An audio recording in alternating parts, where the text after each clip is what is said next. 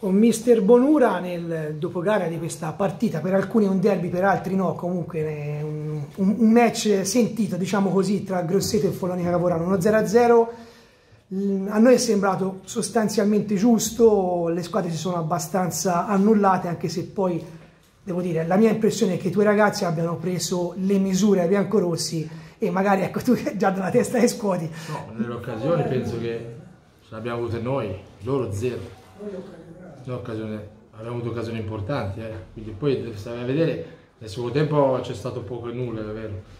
Un grosso predominio territoriale, però abbiamo creato poco, a parte la, un piazzato di Idro Russo, nel primo tempo hanno avuto due o tre palle gol veramente clamorose.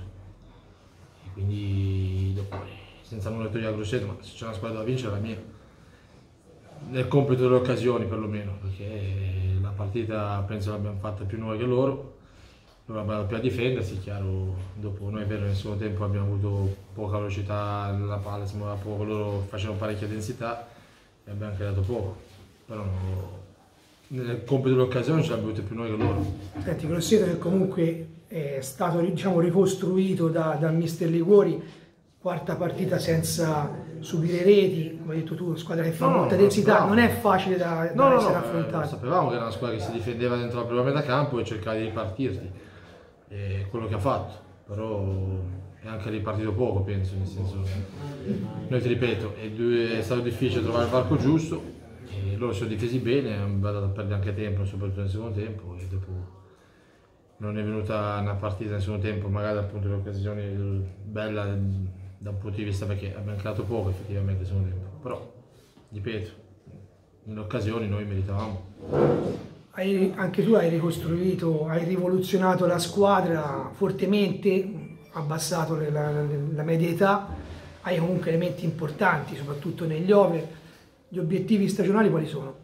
Gli obiettivi di fare un campionato importante, come lo, lo, fa, lo fa, sempre il Follonia Cavorano, quindi gli obiettivi sono sempre quelli. Quindi è chiaro che il fatto di ringiovanire è stata una scelta della società condivisa con me, quindi senza nessun problema. Quello non è che il fatto di essere più giovani, più giovani nel senso una squadra un po' più giovane rispetto alle altre ci comporti che in campo dopo, ripeto, c'è sempre da giocare, quindi non è una questione di età in questo momento.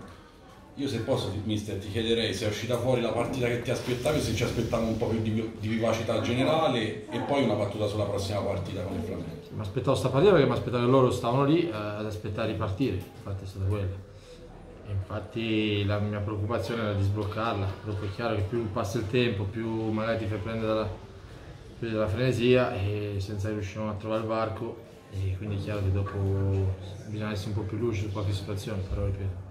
Mister, buonasera, Bene. complimenti per la partita. Scusa un attimo, ah. se potete rispondere anche ah, sulla la partita prossima. Prossima partita c'è la Flaminia e si prepara da martedì, si pensa a Flaminia, certo. Non c'è nulla Dimmi. Buonasera mister. Senta, abbiamo visto, o meglio la mia impressione è stata che nei primi 25 più o meno minuti il Grosseto provasse, o meglio cercasse di portarvi fuori dalla vostra metà campo per prendervi di infilata, che era un po' un canovaccio che non mi sarei aspettato all'inizio perché mi aspettavo più un Grosseto che ripartiva in contropiede. Voi siete stati accorti, siete ripartiti in un paio di occasioni, il lancio lungo per Marcheggiani, forse quella più clamorosa. E quello di Lorusso è quella, è quella di Lorus, esattamente. poi altre, altre, situazioni dove abbiamo mancato l'ultimo passaggio, c'è stato qualche anche dei presupposti ci sono stati anche il primo tempo. È vero che poi non abbiamo, però dei presupposti c'erano. Dopo qualche scelta l'abbiamo sbagliata, però... No, però cioè, rispetto al primo tempo cos'è cambiato? Perché la ripresa siete partiti subito, lei diceva forse siamo un po' calati di intensità. La mia impressione è che il primo quarto d'ora... una squadra chiusa l'intensità devi essere veloce a girare la palla, intensità nel girare la palla, perché quando trovi una chiamata chiusa eh, devi cercare di girare la palla veloce, cercare di un varco magari di un'imbucata oppure per passare per via esterna, magari rimpilare, crossare. È chiaro che se muovi la palla in maniera lenta con una squadra chiusa hai più difficoltà perché non, non li muovi mai e quindi bisogna essere l'intensità nel girare la palla. Però ripeto, sapevamo che la partita poteva essere quella e quella è stata. Quindi probabilmente ci è mancato un po' di, di, non di cattiveria, però nel crederci fino alla fine, ci abbiamo creduto poco probabilmente. Però ripeto, furono 0-0 che chiaramente non ci soddisfa, perché ripeto, per le occasioni soprattutto nel primo tempo. Avessimo fatto gol, magari la partita si sarebbe aperta, loro magari avrebbero usato un atteggiamento diverso, invece così è andato Un'altra domanda, mister, come mai ha sostituito Krivek? Un problema fisico? No, perché No, no, no. che si- Perché volevo mettere Mugelli, perché volevo mettere un, po' un giocatore con caratteristiche diverse, con gamba diversa, sperando che magari da quella parte riuscisse un po' a- ad attaccare quella zona lì, perché Mugelli è un giocatore che anche in qualche spazio ha lo strappo importante e l'ho cambiato per quello, poi era anche ammonito, era ammonito anche lei per in mezzo al campo, quindi dopo No, perché ci sembrava quello che, che, che desse più noia alla Sì, difesa. sì, che però c'è anche altri giocatori, quindi per cambiare, perché sennò eh, bisogna anche qualche forza fresca, eh, sennò eh, c'è anche da Ma chi si è fatto? Macchi ha avuto un risentimento tra l'adduttore e il retto, non so cos'è, si deve un po' tirare. Era uno dei meglio. Eh sì, è il meglio, sì, sì, in effetti il meglio, nel senso è stato bravo, è stato bravo come tutti gli altri, quindi eh, è stato bravo e qualche palla di partenza ce l'ha fatta lui, nel primo tempo l'ha Una fatta. partita a specchio, due moduli simili, 4-3-3, è mancato forse qualcosa a centrocampo per saltare l'uomo in continuità.